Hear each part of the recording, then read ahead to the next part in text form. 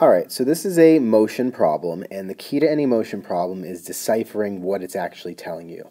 So there are six main variables that we deal with uh, in doing these, and they are listed here. And so three of them are velocities, all labeled v. So there's vi, vf, and v with the bar over it, which means average. So vi is your starting, vf is your final, v bar is your average.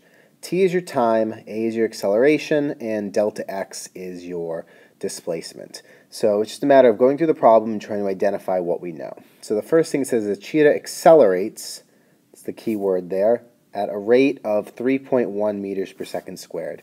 So the units alone should tell us it's an acceleration, but it also told us its acceleration. So I'm going to say A is 3.1 meters per second squared.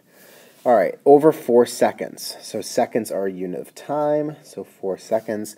It began at rest, so that's a starting speed. Rest means it's not moving, so VI is 0. And it says how fast is it traveling after this time, so we're looking for VF.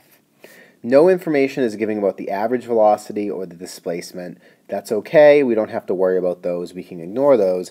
We're just looking for VF. So now that we've identified all the variables, it's just a matter of which equation should we use.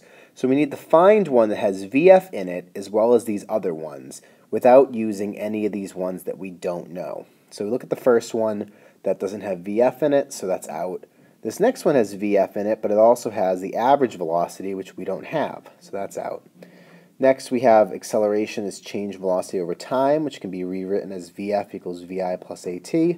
Well, let's see. We're looking for VF. We have VI, we have A, we have T. This is an equation we can use. And if we can want, we can look at the other ones. We can't use 4 because delta x we don't know.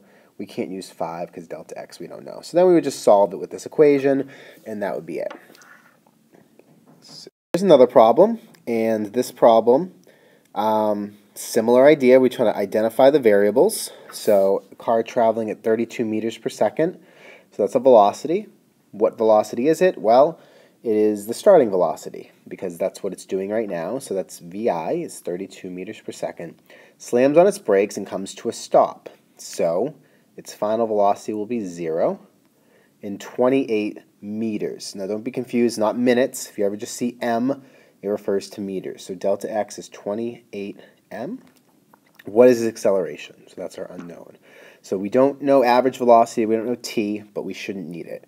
So go through and find an equation that uses these variables that we know and the unknown. So the first one, again, no good because we don't have uh, v bar. Same with the second one, that's out. The third one, we don't know time, so that's no good.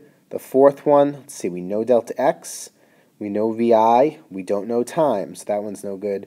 So what's left is uh, the fifth equation. We know vf, we know vi, we know delta x, so we can find a. That will be the equation that we use for this problem.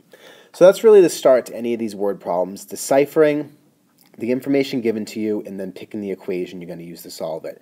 And we'll go over how to solve it in uh, the next video. So until next time, I am Derek Genova. Have a delightful day.